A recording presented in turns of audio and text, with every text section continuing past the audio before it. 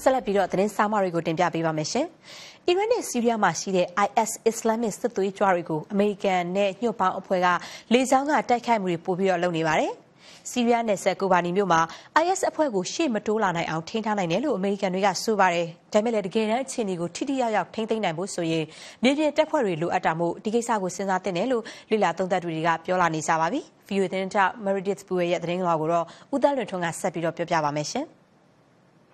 ကိုဘာနီမြို့ထဲက ကာ့ဒ်ပြည်သူ့စစ်တွေကို တိုက်ခိုက်နေတဲ့ ISIS စစ်သွေးကြွတွေကို အမေရိကန်ဦးဆောင်တဲ့ ညွန့်ပေါင်းအဖွဲ့ လေယာဉ်တွေက ဗုံးကြဲတိုက်ခိုက်နေပါတယ်။ဒါပေမဲ့လည်း အပြင်ဘက်မှာ ထွက်လာနေတဲ့ဗီဒီယိုမှတ်တမ်းတခုအရကတော့ ISIS အဖွဲ့ဟာ မြို့ထဲဘက်ကို ပိုပြီး တိုးဝင်လာနိုင်နေပြီဆိုတဲ့ သဘောရှိနေပါတယ်။ဒီလိုအခြေအနေကို လေကြောင်းအကူတခုတည်းနဲ့ တားဆီးနိုင်ဖို့ မလွယ်လှဘူးလို့ စစ်ရေးသုံးသပ်သူ Christopher Herman က ပြောပါတယ်။ ISIS စစ်သွေးကြွတွေ ပိုပြီး ကြီးထွားလာနေတာကို လေကြောင်းက တိုက်ခိုက်ပေးရုံနဲ့ လုံလောက်အောင် တားဆီးနိုင်မှာ မဟုတ်ပါဘူး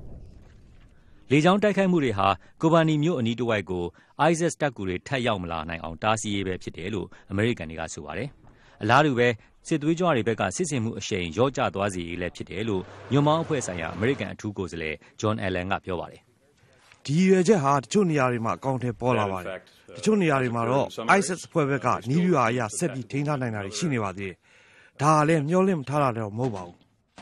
အားလုံးက ဆီးရီးယားနိုင်ငံထဲက အခြေအနေတွေအပေါ် ပိုပြီး အာရုံစိုက်နေကြချိန်မှာပဲ အီရတ်နိုင်ငံထဲမှာတော့ အီရတ်တပ်ဖွဲ့ဝင်တွေဟာအမ်ဘာပြည်နယ်ထဲမှာ ISIS တပ်ဖွဲ့တွေနဲ့ အကြီးအကျယ် တိုက်ပွဲဝင်နေရပါတယ်။မကြာသေးခင်ကပဲ စစ်သွေးကြွတွေကကြေးရွာတွေကို ဝင်ရောက်စီးနင်းနိုင်ခဲ့ပြီး ဘဂ္ဂဒက်မြို့နဲ့တိတ်မကွာဝေးတဲ့ အစိုးရတပ်စခန်းတွေကိုတောင် ဝင်ပြီး တိုက်ခိုက်ခဲ့ပါတယ်။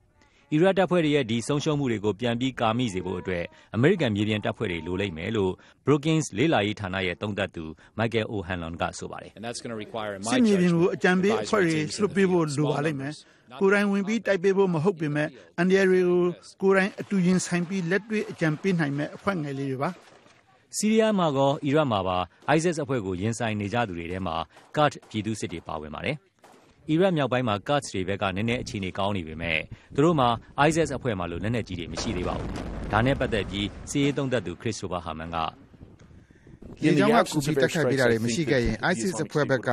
နေရာတွေအားလုံးကို သိမ်းပိုက်နိုင်ပြီး ဖြစ်နေမှာပါ။ဒါကြောင့် လေကြောင်းတိုက်ခိုက်မှုတွေဟာ ISIS အဖွဲ့တွေ သိပ်ပြီး ရှေ့မတက်နိုင်အောင် အတားအဆီးပေးနိုင်တယ်၊ထိရောက်တယ်လို့ ပြောရင်တော့ မှန်ပါတယ်။နယ်စပ်တဘက်မှာရှိနေတဲ့ တူရကီနိုင်ငံထဲမှာတော့ တူရကီစစ်တပ်က တင့်ကားတွေ အသင့်တပ်စွဲထားပါတယ် ဒါပေမဲ့ဝင်ပြီးတိုက်ခိုက်ပေးခြင်းမရှိသေးပါဘူး။ဒါကြောင့်ပြည်တွင်းမှာရှိနေတဲ့ကာ့ဒ်တွေဘက်ကဆန္ဒပြတောင်းဆိုမှုတွေရှိနေပါတယ်။ကာ့ဒ်ပြည်သူ့စစ်9000လောက်ကိုလက်နက်တပ်ဆင်လေ့ကျင့်ပေးမယ်လို့သမ္မတအိုဘားမားကမဟာဗျူဟာချထားပေးပေမဲ့အကောင့်ထဲပေါ်ဖို့နောက်ထပ်တစ်နှစ်လောက်ကြာဦးမယ်လို့ Brookings လေ့လာရေးဌာနက Michael O'Hanlon ကပြောပါတယ်။ဆီးရီးယားမှာလက်တွေ့စစ်မြေပြင်မှာကျွန်တော်တို့လူတွေမရှိသေးတဲ့အခြေအနေလိုပြဿနာတွေရှိနေတာမို့ပြည်စုံတဲ့မဟာဗျူဟာအကောင့်ထဲပေါ်လာဖို့သိမမြင်ရသေးပါဘူး။ ဒါပေမဲ့လည်းဒေသတွင်းမှာပူးပေါင်းစရာတကယ်တမ်းတိုက်ခိုက်လူစိတ်ရှိတဲ့တက်ကြွတဲ့အင်အားစုတွေမရှိဘူးဆိုတဲ့အခြေအနေတက်ဆိုင်ရင်တော့အများကြီးတိုးတက်လာနေပါတယ်တစ်ဖက်မှာတော့ ISIS အဖွဲ့ကလည်းသူတို့ဘက်ကိုဝင်ရောက်ပူးပေါင်းကြပါလို့လူငယ်တွေကိုအွန်လိုင်းဗီဒီယိုတွေကနေတဆင့်ဆွဲဆောင်နေပါတယ်။အီရတ်နဲ့ဆီးရီးယားနယ်စပ်ကိုခွာပြီးသူတို့သိမ်းပိုက်ထားတဲ့နေရာတွေမှာကိုပိုင်ဘာသာရေးအစိုးရအဖွဲ့တရက်ကိုလည်း ISIS အဖွဲ့ကကြီးညာထူထောင်ထားတာဖြစ်ပါတယ်ခင်ဗျာ။